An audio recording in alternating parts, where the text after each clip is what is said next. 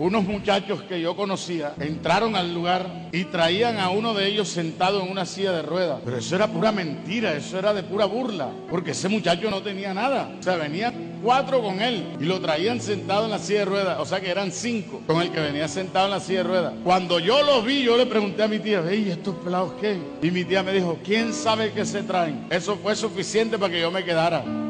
Yo dije, yo voy a ver qué es lo que van a hacer estos muchachos. Resulta que ellos antes de entrar habían conseguido la silla de rueda prestada y sentaron a este y le dijeron, nosotros vamos a entrar. Te acomodamos allá adelante porque apenas entremos nos van a acomodar allá adelante. Y cuando el señor ese que coge el micrófono diga, levántate en el nombre del Señor, tú te levantas. Para que veas a esos pentecostales cómo se vuelven locos. Así que ellos entraron con su plan trazado y efectivamente el Ujier los acomodó allá adelante. Todo iba bien como ellos lo habían planeado. Cuando ya se vieron sentados allá adelante, como que apretaban las manos y se miraban y decían, coronamos, ya sabes, cuando digan que eres sano, tú te levantas empiezas a brincar. Los hermanos empezaron a cantar. El predicador no llegó temprano, se atrasó. Así que le tocó predicar al pastor Filadelfo, que era el anfitrión. Y el pastor Filadelfo comenzó a predicar. Y cuando llegaba, yo no sé, unos 10, 15 minutos, qué sé yo, el pastor Filadelfo señaló al joven de la silla de ruedas y dijo, Iglesia, ustedes ven a ese joven que está en la silla de ruedas. A mí Dios me mostró que lo va a sanar.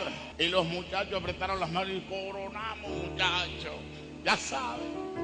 Y le dijo, joven, el Dios que predica esta iglesia te va a sanar de ese estado, pero no será esta noche, sino la última noche de la campaña, porque cuando entraste, entraste sano, pero esta noche te vas en silla de rueda y te quedas en la silla de rueda hasta la última noche.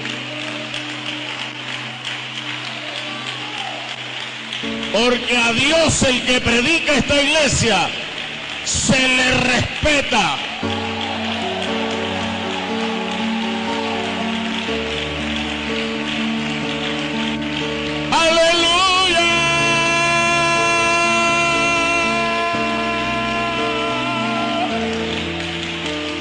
Gloria a Dios.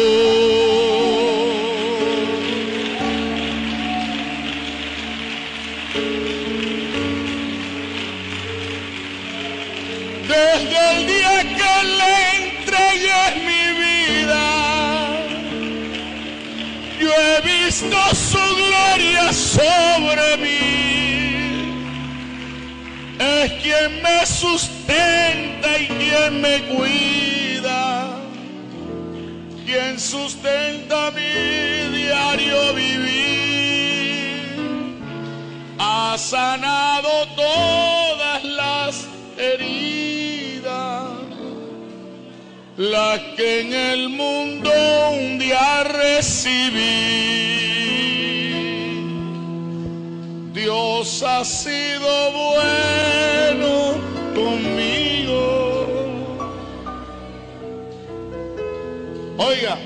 cuando los muchachos oyeron eso, le dijeron al joven, párate y vámonos antes que se forme el... No, no, no puedo pararme, no puedo. Y se vinieron todos donde el pastor Filadelfo, pastor, por favor, levántelo. Nos arrepentimos, pero levántelo. Dice, hijo, esto no es mío. El Señor dijo que el último día, el último día. Espera. Pero pastor, ¿yo qué le voy a decir a mis papás ahora que llegue? La verdad, que intentaste burlar a Dios y eso es imposible.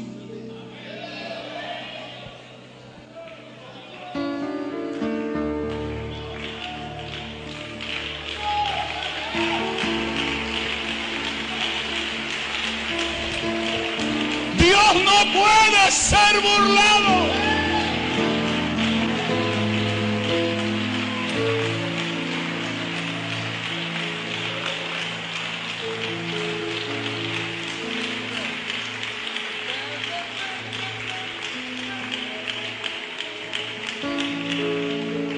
Oiga, entonces el segundo día ya no fueron solo ellos, sino con la familia. Y estaban angustiados, pero el, pastor le dijo, tranquilo, tranquilo. El Señor dijo que el último día, el último día. Y ya el, el predicador invitado llegó y predicó la segunda noche, la tercera noche, la última noche.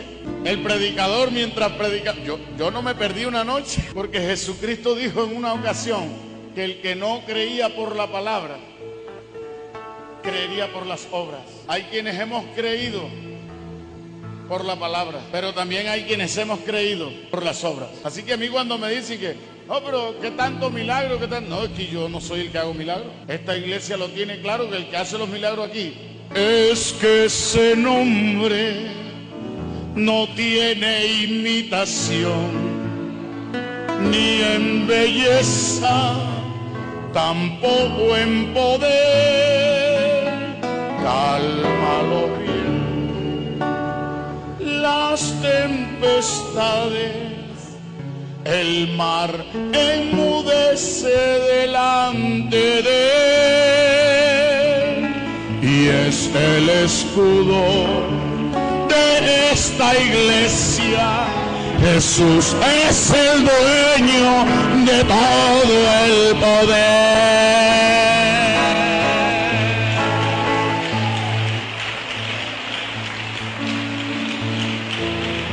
Jesús es el dueño de todo el poder.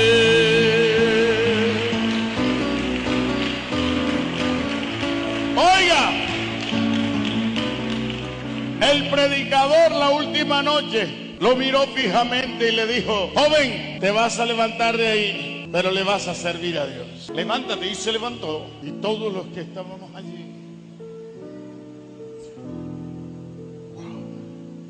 Si te gustó este video, deberías mostrárselo a muchas personas para que vean que con Dios no se juega ni con su obra. ¿Sabes qué? Deberías dejarme tu comentario hey, y mil bendiciones.